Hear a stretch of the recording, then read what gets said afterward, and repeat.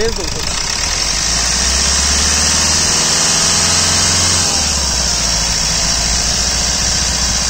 छोड़ो छोड़ो छोड़ो अब एसी ऑन करना सर।